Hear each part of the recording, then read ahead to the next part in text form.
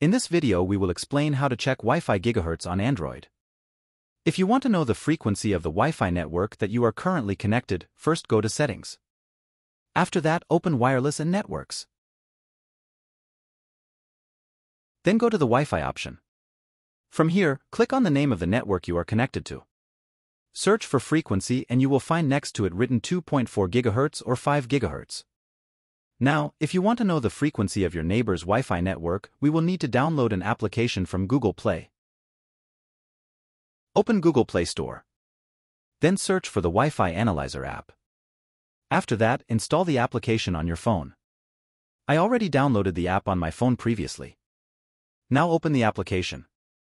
This graph will show you the Wi-Fi networks near you that support the 2.4 GHz frequency. From the top choose 5 GHz. If you do not find any network here, this means that your mobile does not support 5 GHz. Or there is no network near you that supports a 5 GHz connection. Thanks for watching and don't forget to like and subscribe to the channel.